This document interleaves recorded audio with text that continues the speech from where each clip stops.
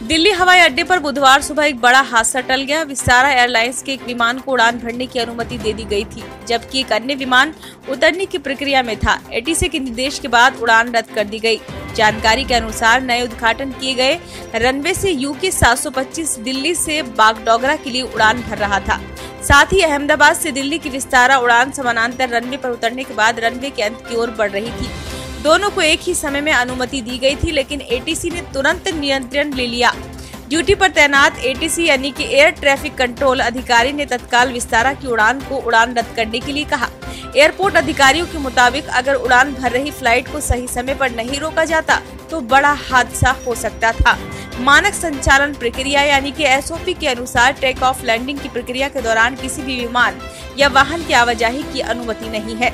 सूत्रों ने बताया कि जब बागडोगरा जा रहे विमान के पायलट ने घोषणा की कि एटीसी के निर्देश के कारण विमान उड़ान नहीं भरेगा तो यात्री थोड़ा आशंकित हो गए।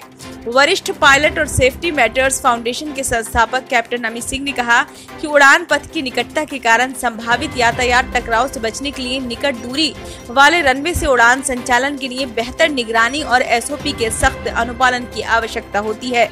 उन्होंने बताया कि आमतौर पर एक रनवे पर किसी विमान को तब तक टेक ऑफ़ क्लियरेंस जारी नहीं किया जाता, जब तक कि विमान दूसरे रनवे पर उतर न गया हो। हालाँकि किसी चूक के कारण यदि विमान को एक रनवे से उड़ान भरने की अनुमति दी जाती है और दूसरे रनवे पर आने वाला विमान लैंडिंग को रद्द करने और आगे बढ़ने के लिए चक्कर लगाने का निर्णय लेता है तो दोनों विमानों का उड़ान पथ अंदर आ जाता है।